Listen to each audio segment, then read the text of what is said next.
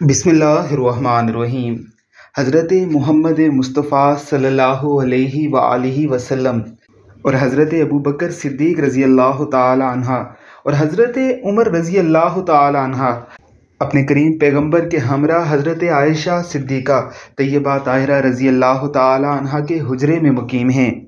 ये हुजरा आयशा जन्नत का वो टुकड़ा है, जो रुए ज़मीन पर अल्लाह को सबसे महबूब जगह थी। यही वजह है कि वहाँ अपने प्यारे पैगंबर वसलाम के जस्ते खाकी को रखा। इस मुकाम मुकद्दस को अकाल सलातो वसलाम ने खुद यूँ बयान किया है, माँ बेना बेती व मिम्बरी व रोज़ा तर रसूल मिर्याजुलजन्ना कि मेरे घर से मेरे मिंबर तक और मेरे रोज़े तक ये तमाम जगह जन्नत के टुकड़ों में से एक टुकड़ा है। जन्नत के बागों में से एक बाग है।